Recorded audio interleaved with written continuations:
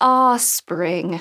Plants are sprouting, flowers are blooming, and you know what that means bees and pollination. But bees aren't the only pollinators out there. In fact, we're often so caught up in our love of our stripy friends that we overlook some of the other more surprising pollinators. And it's not just that they're unconventional either. Each gives us a unique example of how the relationship between pollinators and plants evolved in the first place. So, here are five pollinators that aren't bees. Pollinators are important for plants because they move pollen from the male flowers to female ones. Basically, they're taking the plant equivalent of sperm and moving it to the part of the plant that contains the ovaries. After that, a plant can make seeds or fruit that grow to become new plants. In some cases, this process can happen by wind or rain.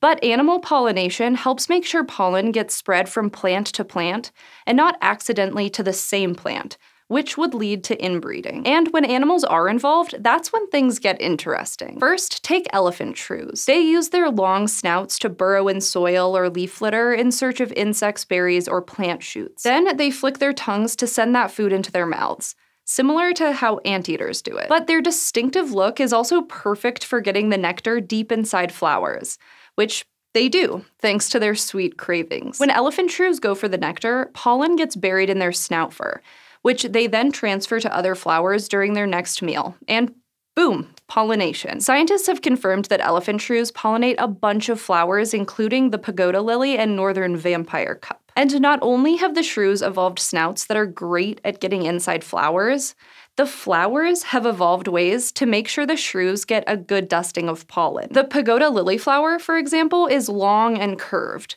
so the elephant shrew has to wiggle its snout inside to get at the nectar. Meanwhile, other flowers have evolved ways to get mammals like the shrews interested in them in the first place. Like the northern vampire cup has two chemicals called 3-hexanone and 1-hexen-3-one in its nectar that work together to lure animals in. 3-hexanone gives foods a sweet, rummy smell and taste, so it might signal to mammals that the nectar is full of sugary energy. And while it isn't clear what 1-hexen-3-one does, Scientists think it might help repel animals that aren't pollinators, or enhance the nectar's taste somehow. In any case, elephant shrews get a sugary snack and the plant gets pollinated.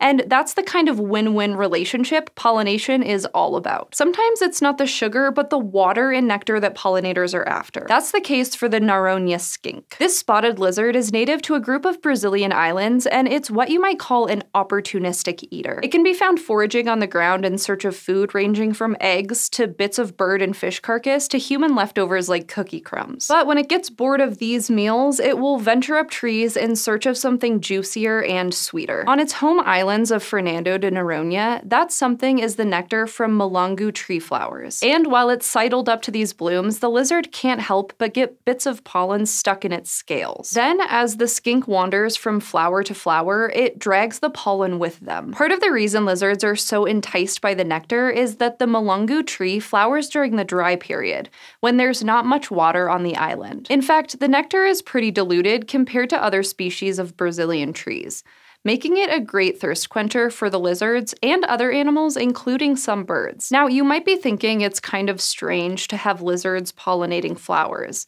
And for a while, scientists did too. But now they believe lizards might play a more important role in pollination on islands than previously thought. That's because on islands, lizard populations can grow to much higher numbers than on the mainland thanks to a lower risk of being picked off by predators. That lower predation risk also means lizards can spend more time looking for exotic foods to include in their diet, like nectar, pollen, and fruit. Now, scientists want to know more about the relationship between lizards and flowers, especially things like if they evolved together or if the flowers have some special way to attract these animals. Cockroaches probably conjure up images of pest control vans, not pollination. But there are at least two species of them that act act as pollinators in the tropics of South Malaysia and French Guiana in South America. One is called A. platystylata, and it's a fan of tropical clusia trees because of a liquid it gets from the base of the petals. The liquid isn't especially appetizing, it's not sweet like nectar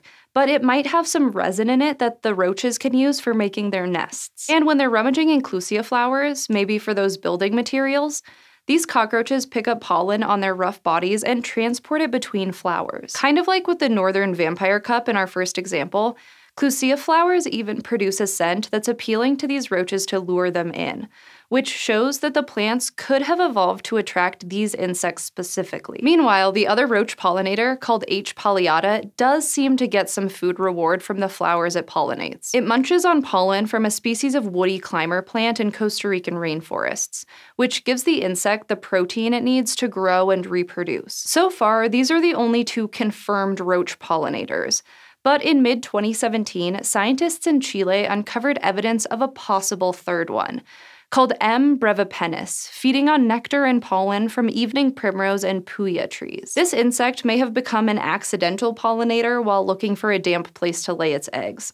But at this point, scientists aren't 100% sure. After all, you have to watch these insects really closely to make sure that they are in fact spreading pollen to other flowers. But it's something researchers are planning to do soon. Usually, when we think about animal pollination, we think about it on land.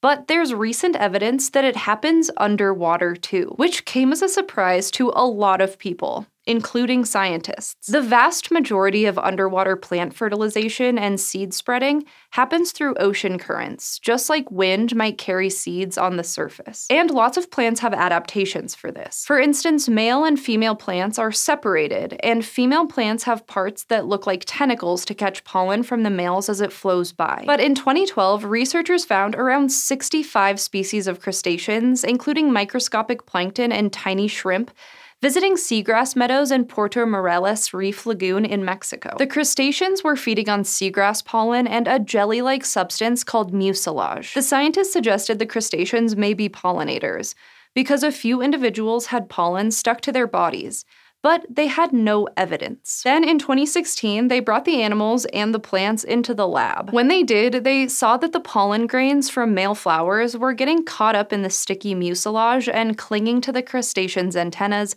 mouthparts, and bodies. They also found pollen on female flowers and concluded that it must have come from the crustaceans since there was no water flow in the tanks. And it wasn't just that the pollen was being moved around.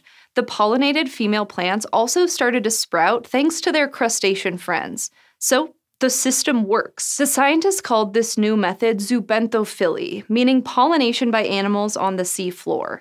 And they think it can boost the likelihood that a plant will make plant babies. Also, this method means that plants can reproduce even when there aren't strong water currents around. Plus, crustaceans can carry pollen further than currents can because, well, they swim. That helps mix up the seagrass's genes too, instead of the same plants always breeding with their neighbors. But it's also worth noting that all this crab pollination was going on in the lab, no one has seen this underwater in the wild. That's mostly because scientists didn't consider it a possibility before, though. So it's time to really start looking. Finally, without this next group of pollinators, one of our favorite sugary treats might not exist. I'm talking about chocolate. Biting midges from the family Ceratopogonidae are the only known pollinators of cacao trees. These grayish flies, which are only about the size of poppy seeds, are so important for cacao they're also called chocolate midges. See, even though cacao trees have both male and female flowers, they can't self fertilize because of a defense called self incompatibility. Basically, to prevent inbreeding, pollen from male flowers won't form an embryo with ovaries from a female flower of the same tree. Also, other pollinators have a tough time getting at the pollen making parts of the flower, called anthers, which are hidden under a flower hood. Bigger insects like bees, for instance, wouldn't stand a chance at squeezing into the tight space. That leaves pollination entirely up to the tiny midges. But hey, at least the trees help out. Research suggests the timing of cacao tree flowering syncs up with when the midges are around during the rainy season. After a couple of big downpours, the midges look for a shaded, damp place to lay their eggs,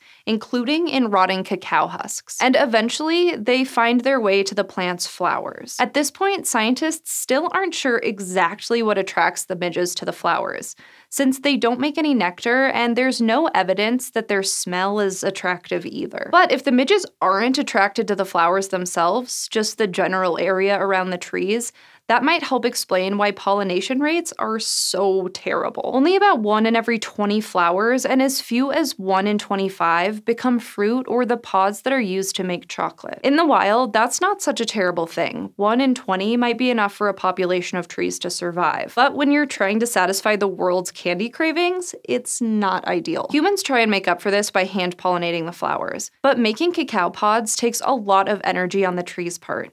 So even then, the trees will limit how many pods actually make it to ripening. More than the other examples in this list, midges and cacao trees are a good example of how evolution between plant and pollinator happens and how things can go wrong if there are sudden human made changes to that relationship. So, this year, let's not forget the unsung heroes of the pollinating world. They contribute to the huge diversity of plants we see on this planet, including the tasty, chocolatey ones. Thanks for watching this episode of SciShow. If you're in the market for more spring or summer related content, you can find more of our videos at youtube.com slash scishow. And if you're interested in videos for the kids in your life, we've got you covered there too. SciShow Kids has a bunch of videos about the seasons and everything that goes along with them.